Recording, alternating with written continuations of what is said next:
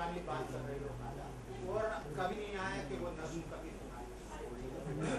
है कि एक बाज़ार में एक बेटा अपने बाप की उंगली पकड़ के जा रहा है वाली आवाज़ लगा रही है। क्या क्या चीज़ें जुड़ रही कि गालिब की गज़ल ईमा यहाँ बिकता है ईमान खरीदो तो बेटा बाप से कहता है अब्बा मुझे दो पेते का ईमान